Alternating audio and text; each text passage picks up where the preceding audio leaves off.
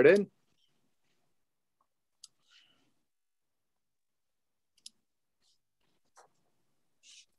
Once again, good morning, everyone. I'm Professor Barlow Der Mugrdechian of the Armenian Studies program at Fresno State. Uh, for those of you on the East Coast, good afternoon. And those of you that are joining us from overseas, uh, good evening. I'd like to welcome you to this uh, special presentation. It's part of the fall 2021 lecture series of the Armenian Studies program. And this lecture series is supported uh, through the financial support of the Leon S. Uh, Peters Foundation here in Fresno, California. I want to tell you a little bit about an upcoming event that we have coming up in two weeks. Dr. Suren Manukyan, who is the Kazan visiting professor in Armenian studies uh, for this year, for this fall 2021, will be giving the final uh, lecture in a three part series on the Armenian genocide. And his lectures were on the organizers of the genocide, uh, the architects of the genocide, and then on the on the bureaucrats of the Armenian genocide. And his final presentation his final presentation on Friday, November the 12th at 7 p.m. in California time is going to be on uh, the, the topic of the ordinary killers of the Armenian genocide, the lower level perpetrators. It's been a very interesting three part series. So if you can join us uh, for that, uh, the link, uh, I will post the link in the chat in just a few minutes um, during, the, during the presentation. Today, our special guest is Dr. Umit Kurt, who is a historian of the late Ottoman Empire. Uh, and his focus is on the transformations of the imperial structures and their role in constituting the Republican regime. Uh, Dr. Kurt received his doctorate from Clark University in 2016, and since then has held a number of postdoctoral positions, including the Kazan visiting professorship in Armenian studies at Fresno State. Currently, he is a Polonsky uh, Research Fellow at the Van Leer Institute, which is based in Jerusalem, uh, Jerusalem. He also teaches in the Department of Islamic and Middle Eastern Studies at Hebrew University of Jerusalem. He is a prolific author and scholar, and he has published uh, two books, uh, more actually, this is his third book, but he has previously authored Aintab 1915 Genocide and Perpetrators, and is the co author of The Spirit of the Laws, The Plunder of Wealth in the Armenian Genocide. Today, Dr. Kurt will uh, give a talk based on his newly published book, which is called The Armenians of Aintab, The Economics of Genocide in the Ottoman Empire, or in, in an Ottoman province, excuse me. And this book was just published by the prestigious Harvard University Press in 2021. I highly recommend that you pick up a copy of that book because uh, what Dr. Kurt has done is to present a microhistory of uh, the Armenians living in uh, this province and the economic side or dimension of the genocide, which sometimes has been overlooked in genocide studies. What's interesting also is that Dr. Kurt is a native of uh, Aintab. He was born in Aintab. And in a way, the book uh, mirrors his own journey of understanding about the once prosperous Armenian community of Aintab and how that changed, of course, with the genocide. And then about the, he discusses in his book about the the, the new elites, the new political and economic elites who benefited from the economic dimensions of the genocide. So it's my pleasure today to welcome our special uh, guest speaker, Dr. Umit Kurt. Dr. Kurt. Thank you so much, Professor Mugrdechian, uh, for such an informative and generous introduction. I'm so happy to be with you uh, virtually. I wish I could be with you in person because, uh, as I keep mentioning uh, and pointing out, Fresno is my second home after Aintab, let's say Gaziantep or Antep. So uh, I hope uh, I will I will be with you uh, physically, face to face, in the flesh, in the nearest future. Let's say. Um, as Professor Mugurd, and I would like to thank and express my gratitude for the, the generous support and and and also uh, constant support of Armenian Studies program at Fresno State University towards my work uh, since the outset of my academic career, let's say. And as Professor Mugrdechian has just pointed out, today's talk is basically uh, is, is mostly based on my uh, recently published book by Harvard University Press in May 2021. And I would like to uh, I would like to start with sharing my screen because I am gonna be having a PowerPoint uh, presentation. Let me share my screen, if you will. There you go. So Yeah, this is the cover of the book. The cover of the book, uh, actually, you see uh, uh, the, the, the family, and this family is uh, Nazar Nazaretian family, uh, Nazar Aga, like Nazar Aga, and the head of the family, who was an honorary Iranian consular of, of to, to, to Ottoman Empire in Aintab at the time. As you see, uh, he he's uh, standing on the left by holding his, his stick, and and and also his wife uh, Khanum, and and also and the Garabet uh, Nazar Nazaretian, the little son as well. So I would like to start with. Um, let me, sorry, okay. I would like to start with how my how my uh, story and uh, begin begun actually for writing writing this book and how the idea for writing this book originated and tell you a little bit about the research process and share the relevant story of my discoveries. Um, following my graduation from Middle East Technical University in Ankara, I found myself again at my parents' house in my hometown of Gaziantep, formerly known as Aintab, where I escaped the stifling heat and passed the days dozing on the sofa, one day I was jarred from my nap by a call from an old friend. Umit, where have you been? Has been ages. I know a great place in Kayacik where we can catch up. Although I was born and raised in Aintab and hadn't left the city under college, the word Kayacik did not mean anything to me. It was just another district in the city, a neighborhood I had never visited, of which I knew nothing. So my friend said she would wait for me at Papyrus Cafe as you see uh, in the, the, front door of the Papyrus Cafe and gave me directions. I took a bus to the Kayacik neighborhood and upon arrival found myself dazed by the charming atmosphere, letting myself get lost in the side streets and leaving my poor friend waiting some more.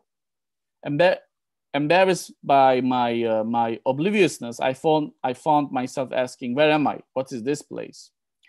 I was on a narrow street with beautifully constructed stone houses lining each side, taking, taking you back to a simpler, though slightly mysterious time.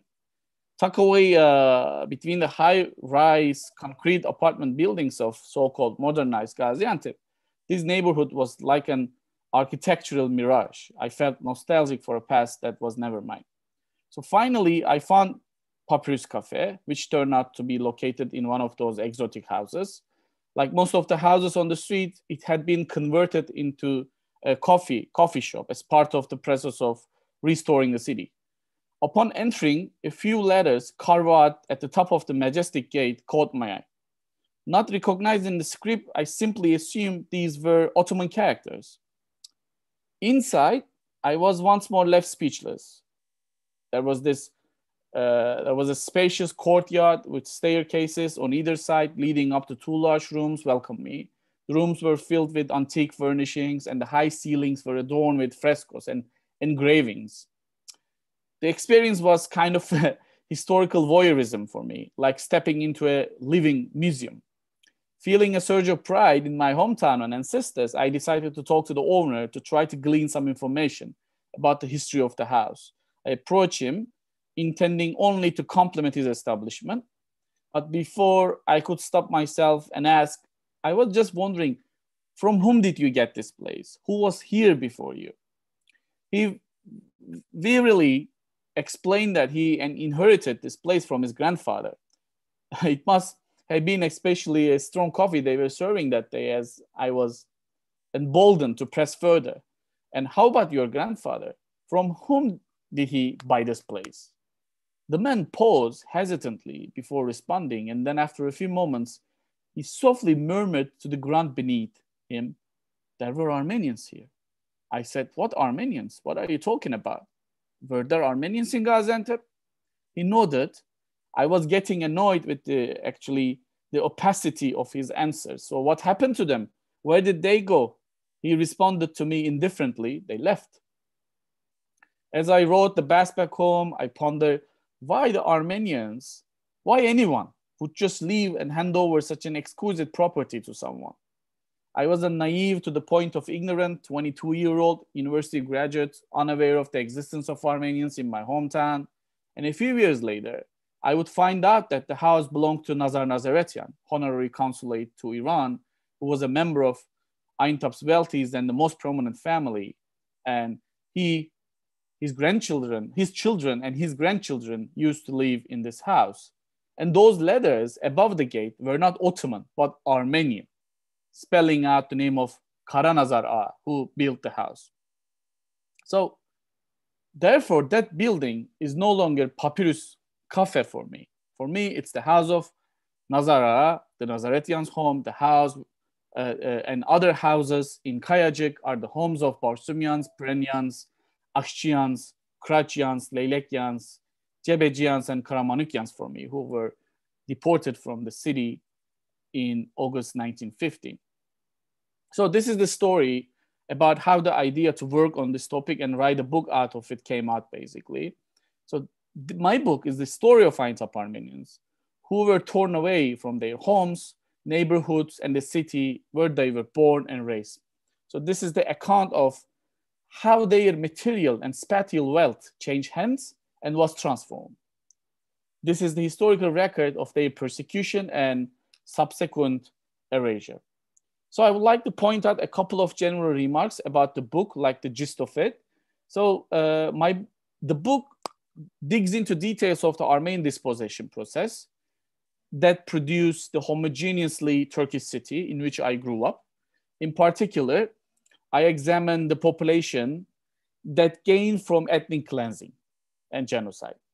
Records of land confiscation and population transfer demonstrate just how much new wealth became available when the rich Armenians who were active in manufacturing, agriculture production, and trade were ejected.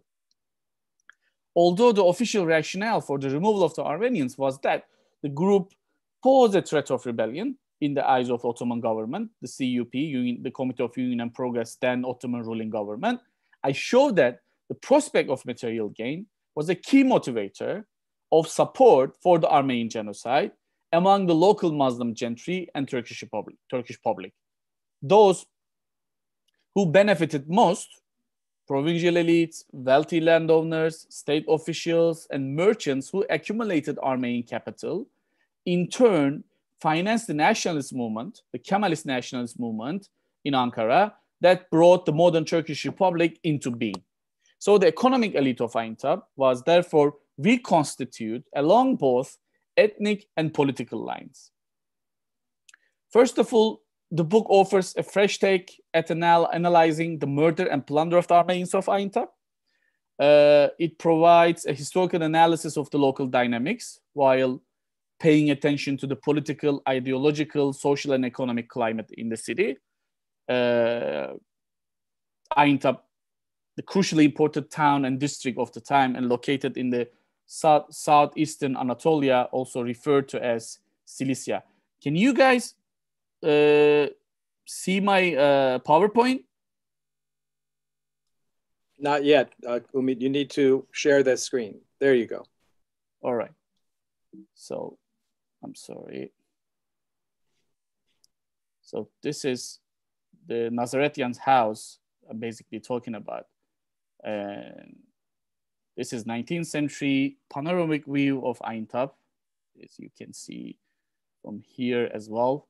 You can see on the top uh, Surp Asvazatin Yegagetsi, the Armenian Orthodox Gregorian Church in Aintab. And here is our map. As you see, Aintab is, is like 50, 50, 50, 50 mile, uh, five miles away from Aleppo. And, and this map, you can see the deportation roads in 1915. So um, by combining social, socio-political and uh, socio-historical, socio-economic historical methods, this book treats Aintab as a microcosm to elucidate the confiscation and transfer of Armenian properties. So what I what I essentially show that this process is an essential component of a genocidal policy, and demonstrate how the prospect of material improvement served um, as a major incentive for garnering the support and involvement of the Muslim gentry in the Armenian genocide. So it convincingly shows the Armenian genocide and its redistribution of redistribution of uh, uh, uh, wealth to local Turkish and other Muslim groups help nationalize the economy and help create new local elites in the city. So, accompanying the massacres, the confiscation and plunder process of Aintab Armenians' properties can be divided into three periods. So, in the first period, World War One, both the CUP itself as well as Muslim elites and ordinary Muslims pillage Armenian wealth. In terms of the CUP policy regarding the removal of the Armenians from the economy, a clear legal framework was required. These laws and statutes came to be known as the Emval-i Metruke Kanunları, abandoned properties laws.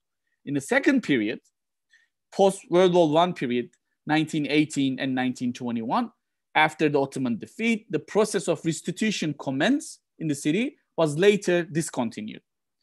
And in the Sai, in the Sykes-Picot agreement concluded secretly on May 19, 1916, the France and Britain carved the Arab territories of the former Ottoman Empire into spheres of influence. Under Sykes-Picot, the Syrian coast and the modern day Lebanon was annexed by France, and Britain took direct control of central and southern Mesopotamian territories. Based on this agreement and the seventh article of Mondros Armistice from October 13, 1918, British forces occupied in Aintab in December 1918.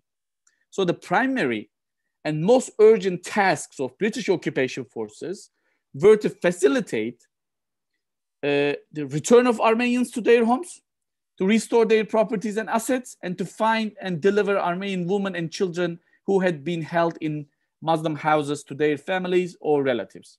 Armenian survivors start to return to their hometowns in December 1918, most immediately concerned with discerning how their movable and immovable properties would be returned to them. So this issue of restitution of properties was of pressing importance for Ottoman government. Related orders were sent to localities and necessary legal regulations were issued. However, the British decided to cede the city to the France, France by signing the Syrian agreement with the French government on September 15, 1919.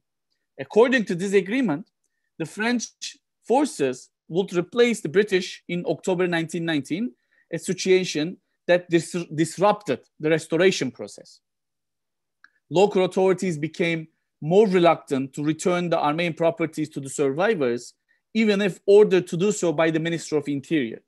Although houses were occasionally returned to their rightful owners, in most cases, local authorities refused to evict the present occupants. And additionally, the rise of the Kemalist nationalist movement in the city in 1919 and 1920 also put a halt to the restitution process. So, in the face of French occupation, local nationalist Kemalist forces instigated armed struggle against the French throughout the Turkish-French War in Aintab, which started on April 1st, 1920, and ended with the Kemalist defeat, and the city surrendered to the French military forces in February 1921. The Armenians of Aintab allied with the French. Yet, despite their victory, the French ultimately decided to retreat from the city in February 1921, leaving it on October 20, 1921 to the Kemalist forces in accordance with the Treaty of Ankara. And in the third period, post 1921 period, with the total departure of the Armenians from Aintab, the confiscation and plunder process was completed.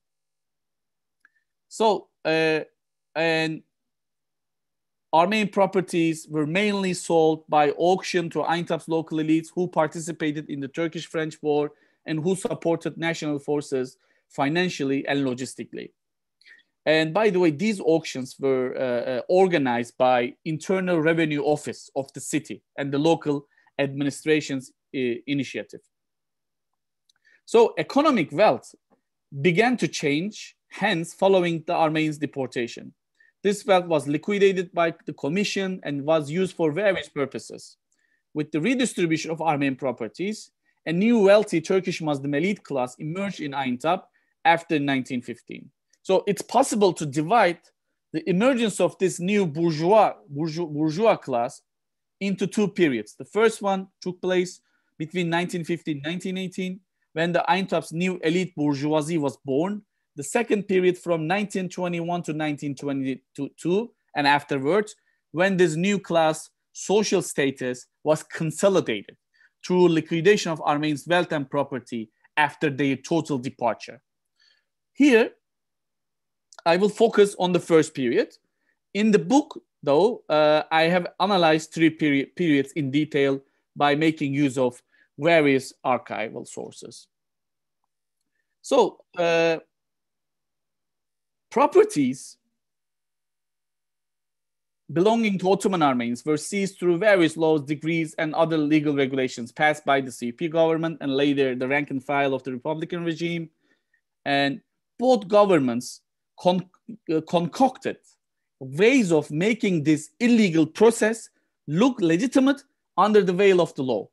So central to this process were the economic outcomes of violence committed against Armenians. So principally in the book, what I economic violence refers is the appropriation of movable and immobile properties and assets left behind by the deported Armenians. Of course, Armenians were forced to leave these, these properties.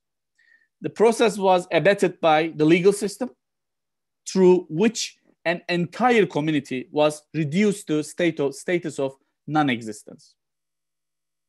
So after CUP issued the decision for deportations, Ottoman Armenian citizens were prohibited from selling, renting, or transferring their properties. And the whole process was put into action by commissions established by the CUP government. And these commissions were called abandoned properties commissions and abandoned properties liquidation commissions. In the book, I, did, I detailed how these regulations were actually uh, were executed, actually and formally not executed uh, specifically with the Armenians of Aintab in mind, concentrating on the appropriation of these properties. I investigate how, what happened to these properties, primarily by using Armenian sources and other archival materials. I present a unique report of the Aintab Liquidation Commission, previously untapped and undiscovered, that documents the liquidation process on the ground. It's the first of its kind in demonstrating how numerous government officials and other individuals from different classes, particularly Aintab Muslim elites, including property assessors, auction houses, trustees, estate agents, notaries, and transport companies were employed to manage the administration and sale of Armenian assets through the abandoned properties laws. So I want to start with an anecdote here, which was quite interesting in the aftermath uh, of the Aintab war, Aintab İğne Baştuçun, let's say, Aintab self-defense, there was this town crier walking around town and inviting those who had participated in the war to come to Tuzhanı. Many locals of Aintab, including Ali Beshe, uh, here Ali Beshe, here, uh, here it is. Ali Beshe uh, who was a prominent member of the Aintab's gentry and leading figure of the Aintab CUP club. Uh, they had it over. A guy told them to queue, queue up in twos, as they would let people in two at a time. It was Ali Beshe's turn. He went in and saw some keys placed on a rock.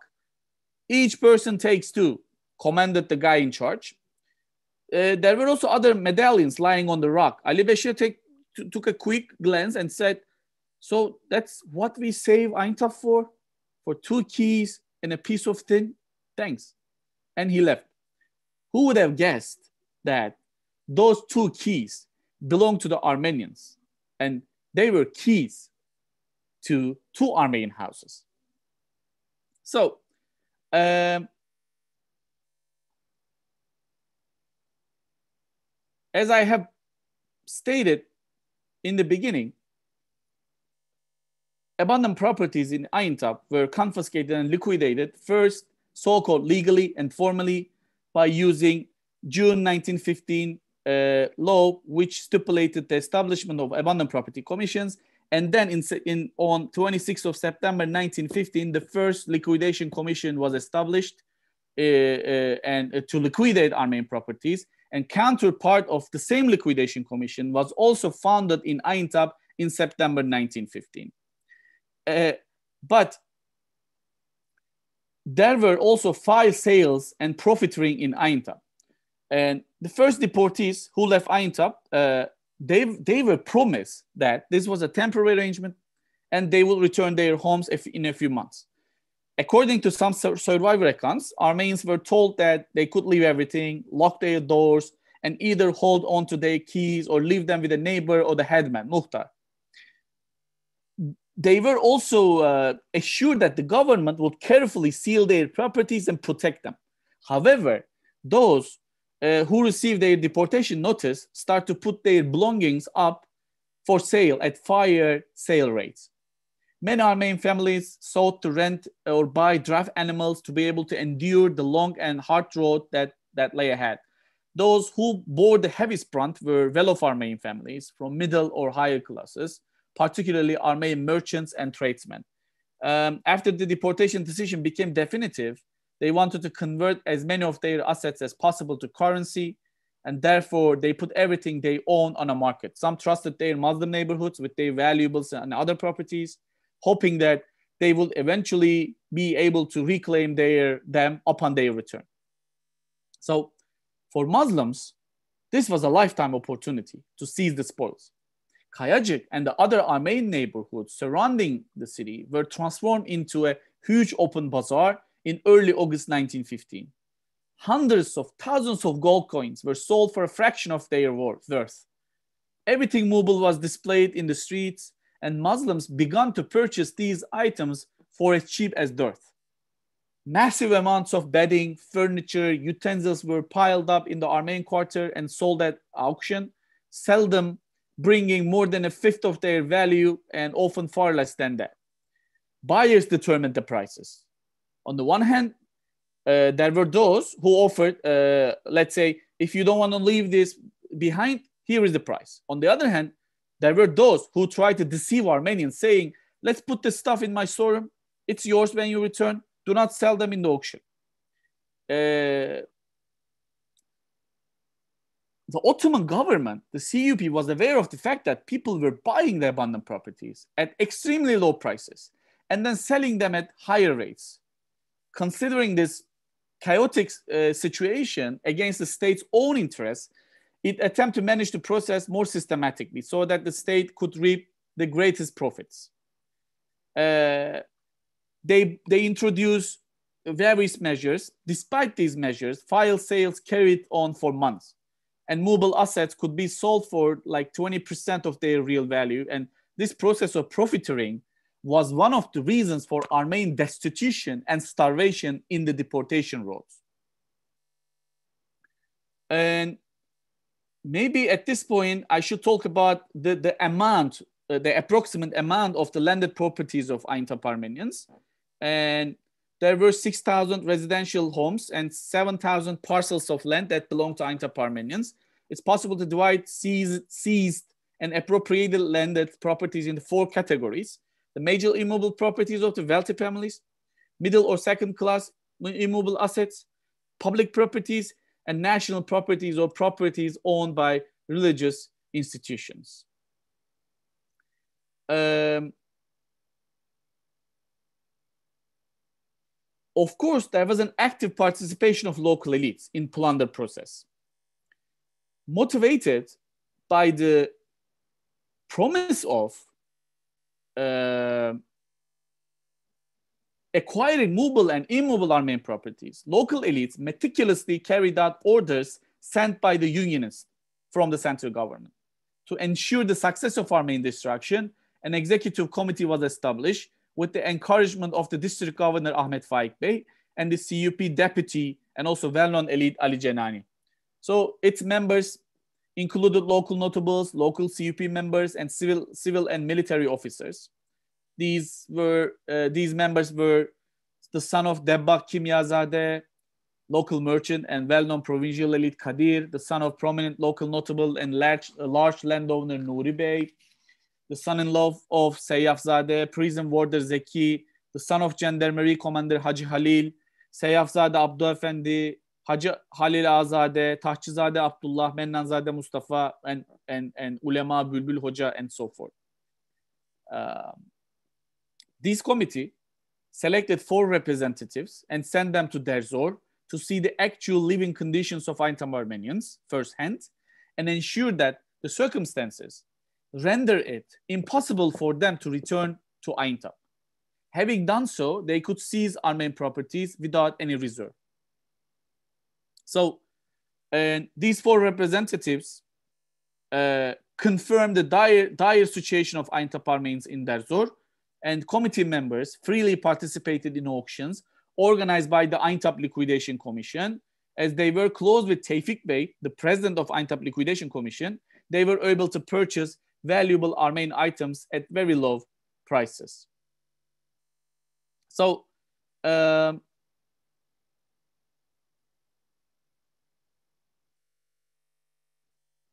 of course, there were transactions done by Aintab Liquidation Commission too. That, uh, uh, these were official transactions, state-sanctioned official transactions.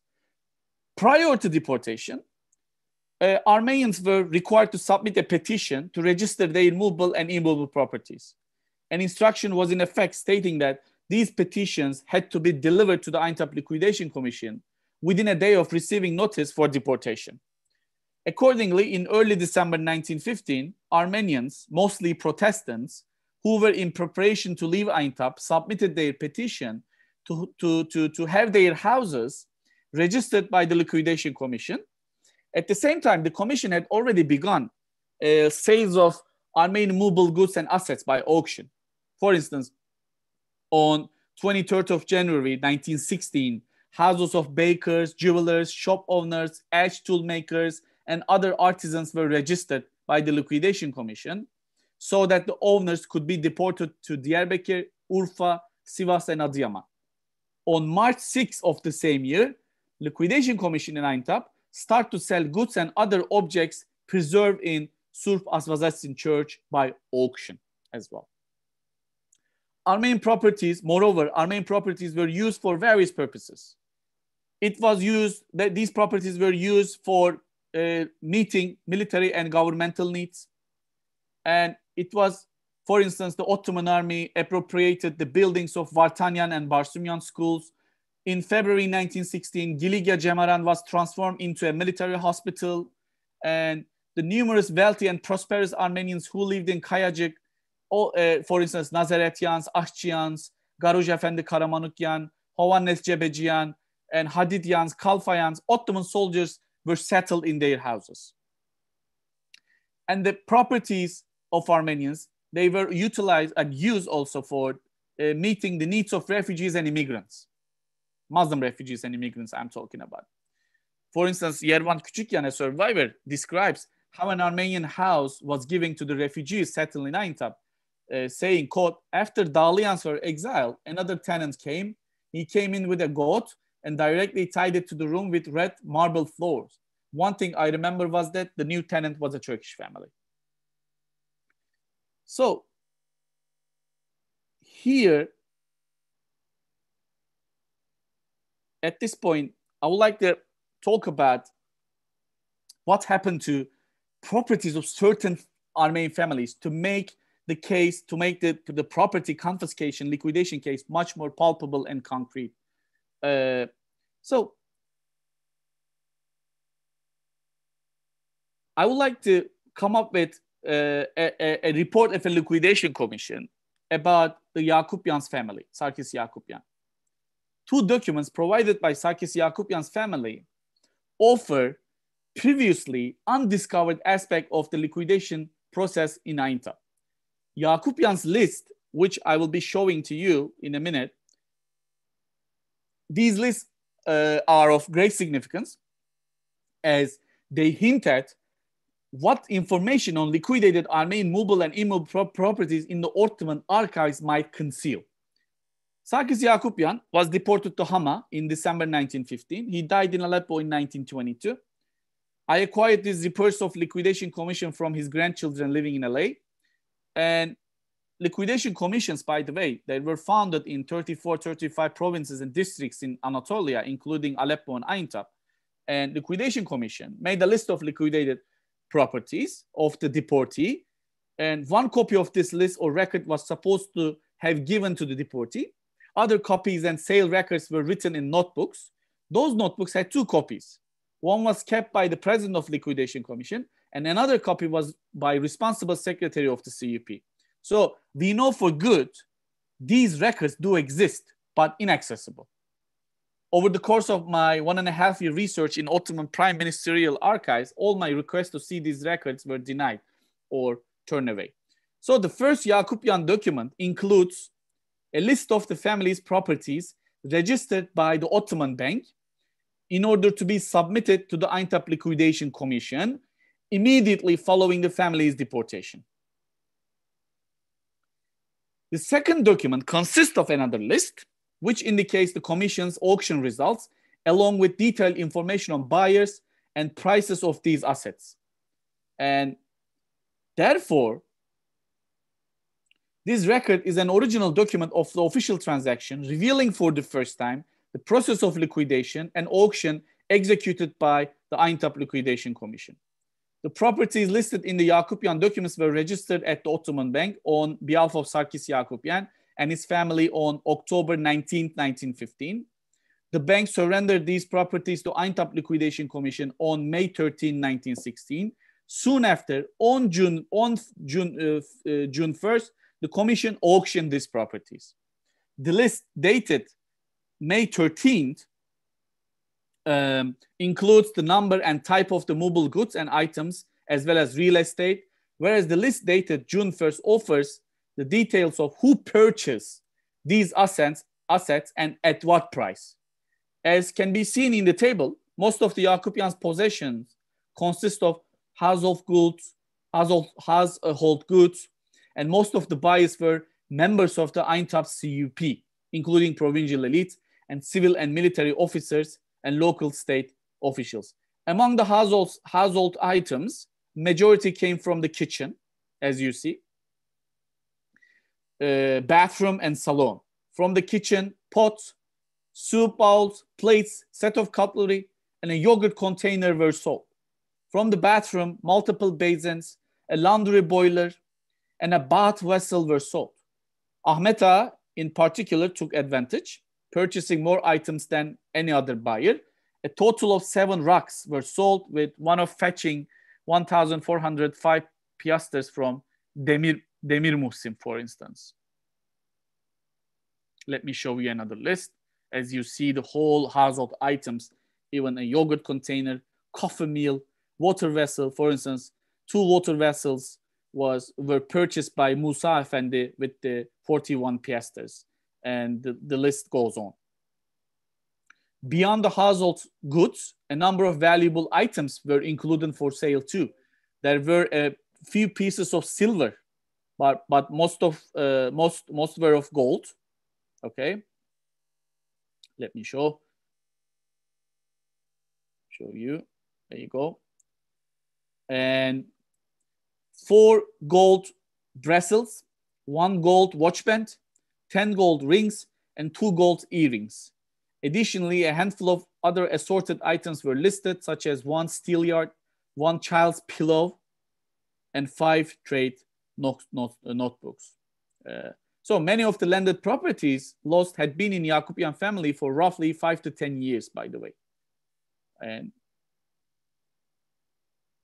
so these, there were, you know, buyers who purchased the, this immobile properties of Sarkis Yakupian and his family at ridiculously ridiculous prices uh, uh, were in this image as well.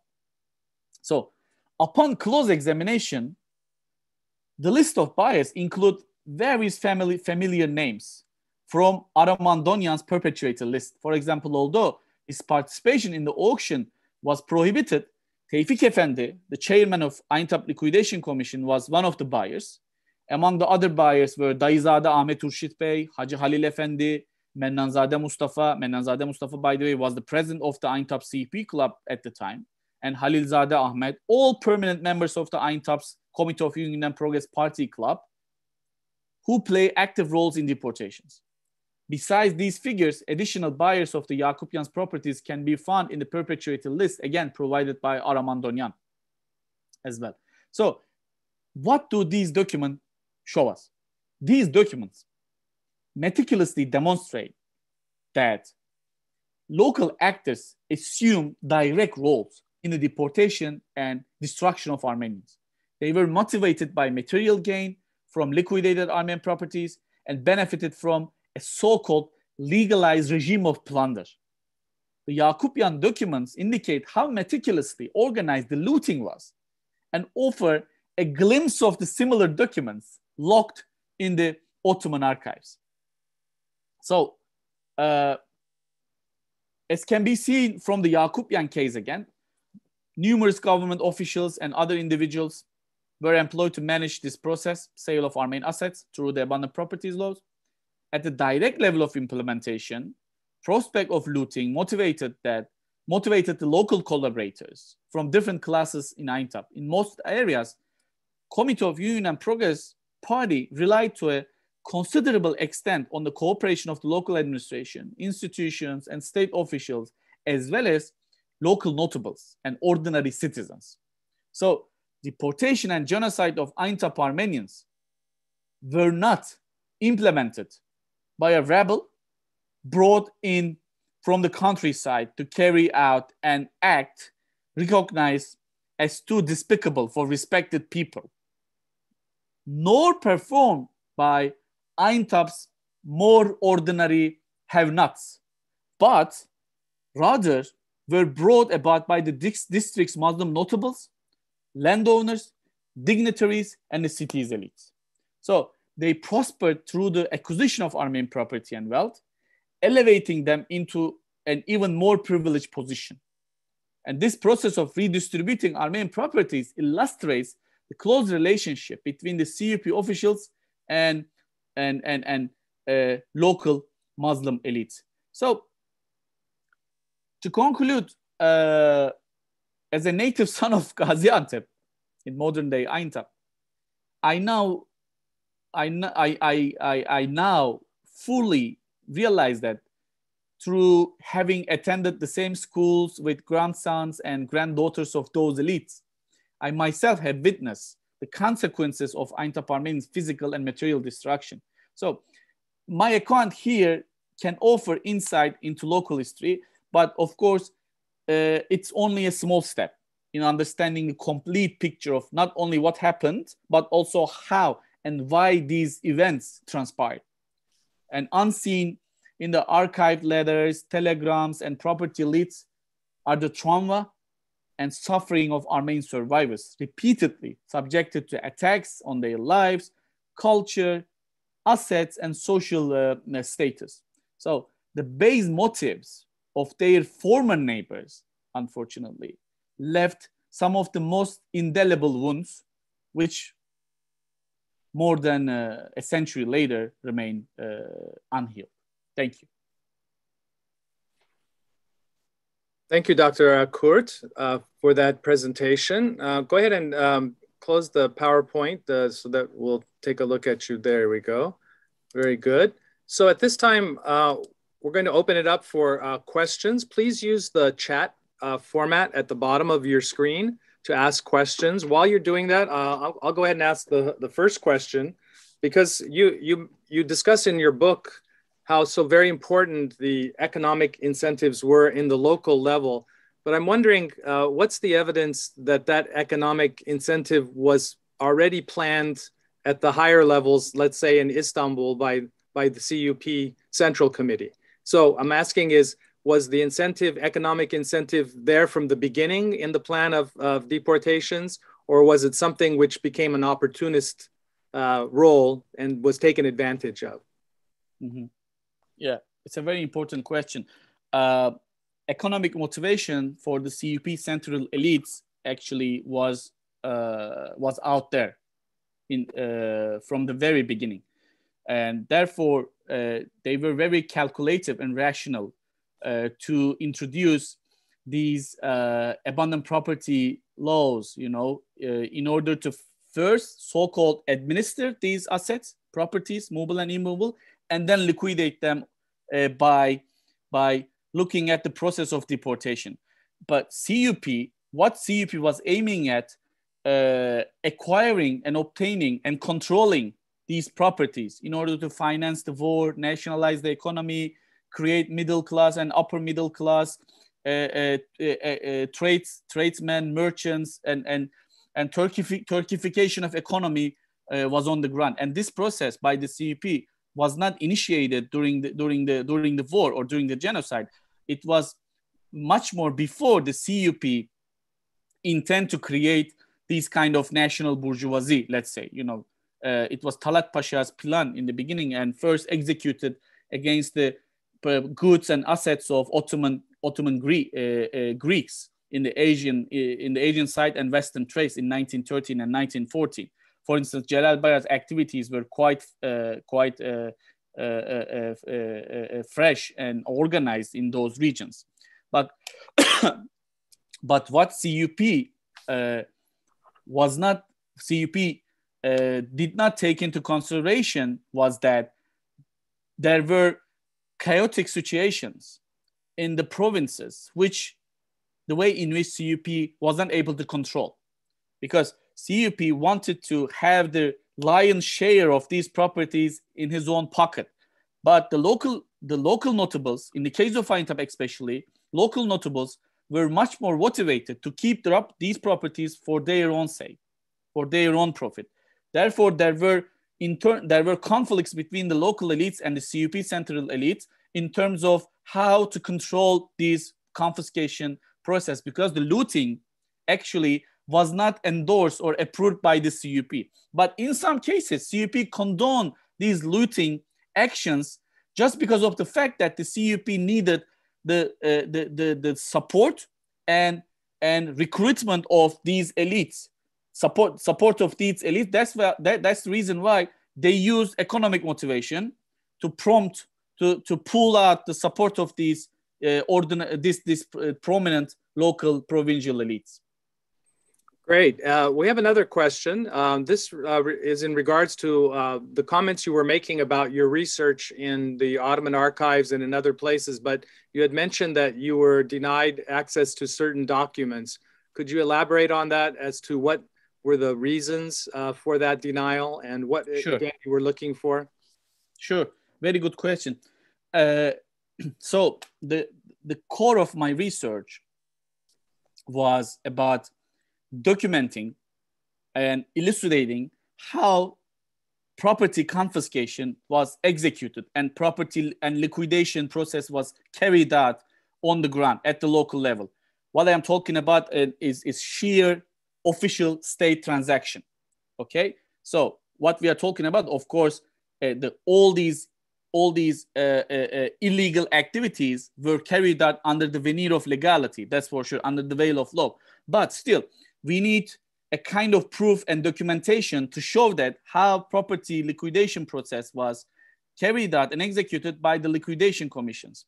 As I have uh, emphasized uh, during my talk, there were approximately 35, 34, 35 liquidation, abandoned liquidation commissions established in various provinces and districts of the Asia Minor, including Aintab and Aleppo. And these commissions, as I have just shown in the case of Sarkis Yakupyan's how Sarkis, Sarkis family properties were liquidated in an auction. Uh, there were other auctions for uh, or regarding uh, other families' properties and assets, especially movable properties I'm talking about. So these reports, therefore, extremely important to show actually the intent to destroy this notion of intent to destroy I mean, if CUP, if Ottoman government was promising that, you know, this property, you know, you the, the, the, deportation was temporary, you will be returned to the, your homes and you will get your properties back. If you promised that, why would you carry that all these liquidation transactions to someone's properties? Because from the beginning, they thought the moment Armenians left their hometowns, it didn't they didn't exist in the in the eyes or in the minds of the Ottoman central authorities. So that's why everything was possible for these central authorities to execute any kind of transaction on the on, on these people properties. So excuse the, the, the underlying reason why these sources are inaccess still inaccessible in Ottoman archives is that if these sources uh, are accessible for researchers, the whole looting process, whole robbery, the state official robbery is going to be is going to come out. You know, that's why, uh, and also we we we will see the purchasers, buyers, who constitute the the the the uh, the, the, the the first capitalist of Turkish Republic and these and the, the relatives and the offshoots of these families are still living in turkey you know? Uh, that's these are the reasons why these sources are still inaccessible. Thank you. And uh, i have a question. Uh, you you mentioned uh, quite a bit about the personal properties the personal the homes the maybe businesses personal effects. But could you comment on the uh, major institutional structures? So what happened to the armenian churches Armenian schools in Aintab? How were they? How were they divided? Who took them over? Uh, was that something the state took over? Just explain a little bit of, of that, if you would. Sure. Um, for instance, um, generally most Armenian properties were used for the necessities of the army and government. For this purpose, uh, by August 12th, 1915, as far as I remember correctly, a central government order uh, was sent to various provinces and districts stating that Armenian properties could be transferred to military if needed. So uh, the abundant stock in the stores will be appropriated by the authorities in accordance, in accordance with the needs of the military. On 22nd of August, Surp Asvazassin Church, for instance, the Armenian Gregorian Church, St. Mary Church, was sealed, and after which all movable items in it were sold at auction. Shortly afterward, it was turned into a military station by the government by government order. And also during the deportations, all of the non-Muslim schools were seized by the government, except those belonging to American board. Ottoman army also appropriated the buildings of Vartanyan and Barsumyan schools uh, as well. And and and what else I would say um, the second Protestant church was turned into a stable, for instance. And the Surp Asvazessin church was used for military prison for a while as well. Most of the movable items within the Armenian churches were sold uh, at auctions with extremely low prices.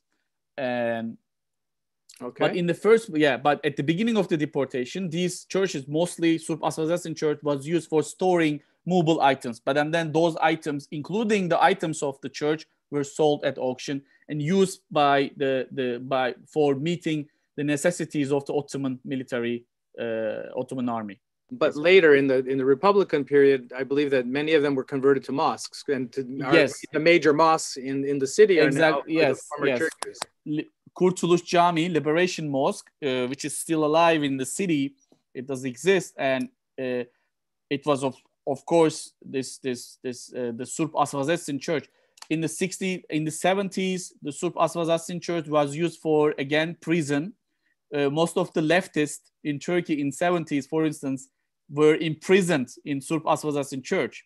And after 1980 military coup d'etat in Turkey, uh, the whole church was transformed into a mosque, which was which has been known as Kurtuluş Jami, Liberation Liberation Mosque, by only putting a, a, kind of crescent on top of the church.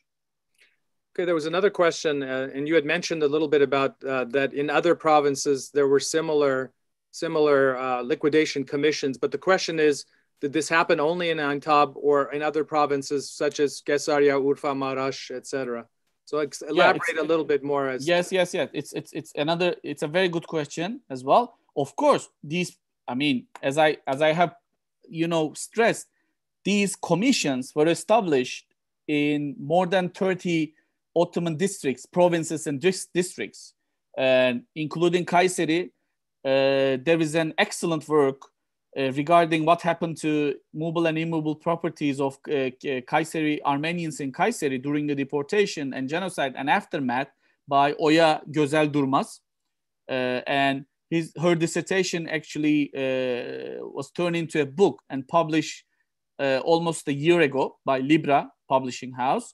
And Oya, uh, my colleague and a good friend of mine, she analyzed and explored how confiscation liquidation process was carried out in Kayseri by giving names, the buyers of these properties and so forth. And Urfa Marash, the same process took place, but I would like to uh, uh, uh, underline one point, which is the following. Uh, we should keep uh, the keep that keep uh, the, the, the follow following point in mind that looting and confiscation process as a state official transaction went hand in hand.